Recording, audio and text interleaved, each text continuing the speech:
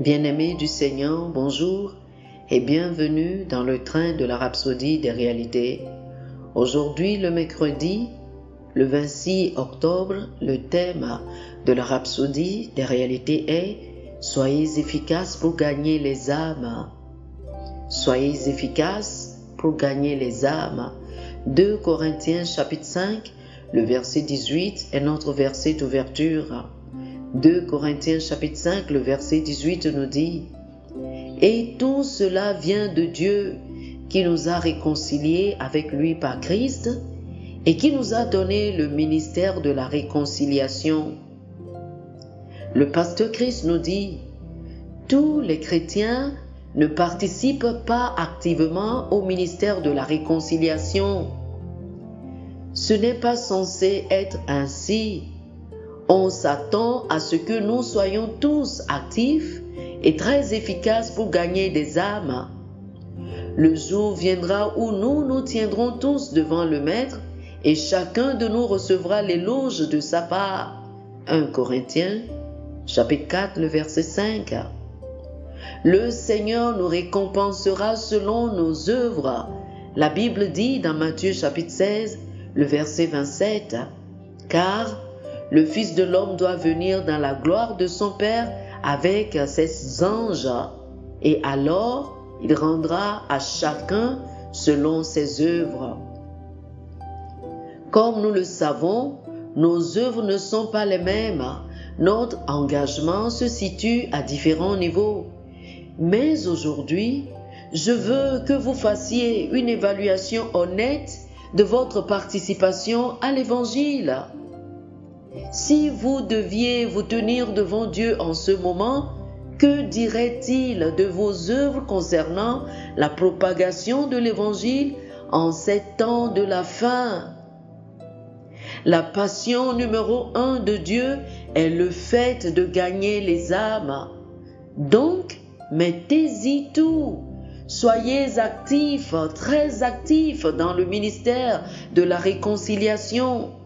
2 Pierre chapitre 3, le verset 9 dit, Le Seigneur ne tarde pas dans l'accomplissement de la promesse, comme quelques-uns le croient, mais il use de patience envers vous, ne voulant pas qu'aucun périsse, mais voulant que tous arrivent à la repentance.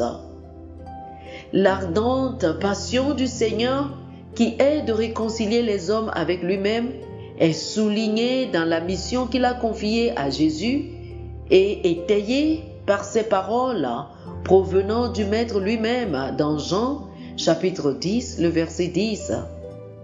Moi je suis venu afin que les brebis aient la vie et qu'elles soient dans l'abondance. Prenez cela au sérieux. Chaque jour, parlez de Jésus aux autres Faites-le dans votre quartier, dans votre maison, puis allez au-delà. Il y a des endroits où vous ne pourrez peut-être pas vous rendre physiquement. Vous pouvez les atteindre par le biais d'un partenariat et d'un parrainage de la distribution de matériels évangéliques tels que la rhapsodie des réalités. Nous avons une structure et des plateformes à cet effet Contactez-nous si vous voulez participer à l'œuvre de la rhapsodie des réalités ou visitez www.reachoutworld.org pour plus d'informations. Oh, Alléluia. Chers amis, je vous invite à faire cette prière avec moi. Cher Père, je te remercie pour l'opportunité de gagner activement des âmes aujourd'hui. La lumière de ton glorieux évangile brille fortement aujourd'hui dans les nations, alors que nous proclamons ta vérité sur toute la terre. Toute résistance est brisée et les cœurs des hommes sont ouverts pour recevoir notre message pour le salut. Les liens et les ruses de Satan sont détruits au nom de Jésus.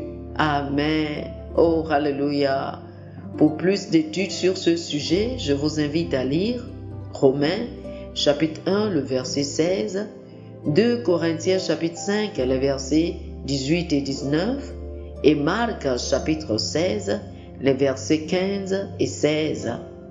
Romains chapitre 1, le verset 16, 2 Corinthiens chapitre 5, versets 18 et 19, et Marc chapitre 16, les versets 15 et 16. Que le Seigneur vous bénisse.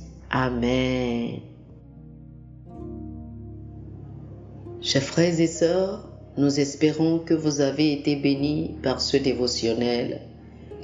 Nous vous invitons à faire de Jésus-Christ le Seigneur de votre vie en priant ainsi. Ô Seigneur Dieu, je crois de tout mon cœur en Jésus-Christ, Fils du Dieu vivant. Je crois qu'il est mort pour moi et Dieu l'a ressuscité des morts. Je crois qu'il est vivant aujourd'hui. Je confesse de ma bouche que Jésus-Christ est le Seigneur de ma vie à partir d'aujourd'hui. Par lui et en son nom, j'ai la vie éternelle. Je suis né de nouveau. Merci Seigneur d'avoir sauvé mon âme. Je suis désormais un enfant de Dieu. Alléluia. Félicitations, chers frères et sœurs. Vous êtes désormais un enfant de Dieu.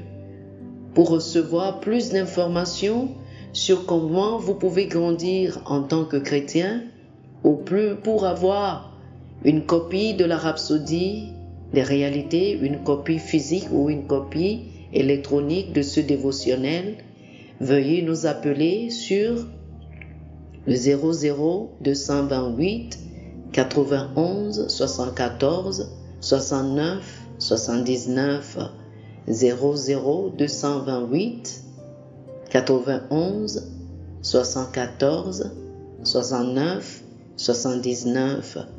Que le Seigneur vous bénisse abondamment. Amen.